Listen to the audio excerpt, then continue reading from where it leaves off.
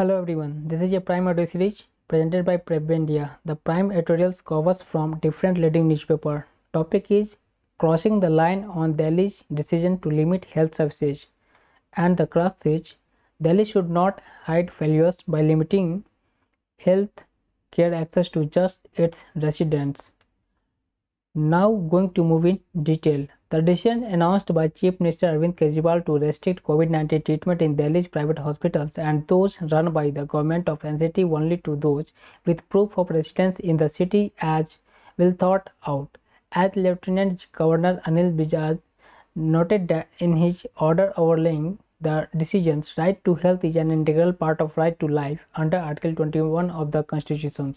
While Healthcare is far from being universal in India. Positively denying that to someone on the grounds of residency is insensitive and irresponsible. The Lieutenant Governor has now directed that treatment should not be denied to anyone. Mr. Kejriwal depicted a scenario people of the whole country overwhelming hospitals in the city as justification for his nepotism. After the LG's interventions, the Chief Minister and his Deputy Manish Sisodia reiterated the argument and per perpetually sought to wash their hands of the worsening situation.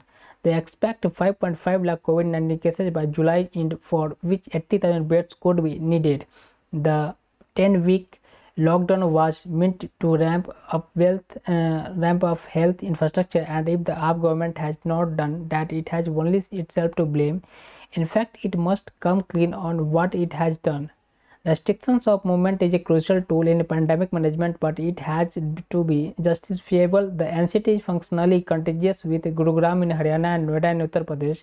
Thousands cross these borders for work and other needs, including healthcare. People contribute to tax revenue in three different jurisdictions. This makes Mr. Kejriwal rhetoric unreasonable as much as Karnataka's decision to prevent residents of Kasaragod in Kerala from accessing hospitals in Mangalore earlier. The AAP government approach is contentious for more regions, however, as it is using it also as a diversionary tactic. While the city is recording an exponential growth in infections, the government is trying to deflect attention from its inadequacies by hiding the number of it has reduced testing dramatically on June 2 it was 6070 on June 7 5042 and uh, on June 8 2003 uh, 8 uh, June 8 3700 the AAP government accused private labs of flouting ICMR guidelines and discouraged testing of asymptomatic peoples. The high positivity rate the proportion of positives to total test indicates that the NCT is not testing enough.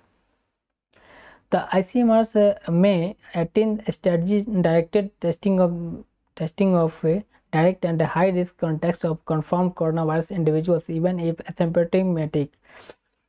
The government revised this by removing asymptomatic from the clause which was also overturned by the LG who ordered that guidelines must be adhered to in their entirety.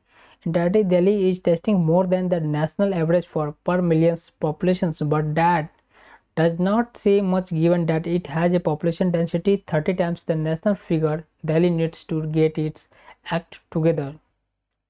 Thank you. With that in these editions we will keep updating you press the subscribe button and bell icon notifications for the latest news update. Thank you for watching. Namaskar.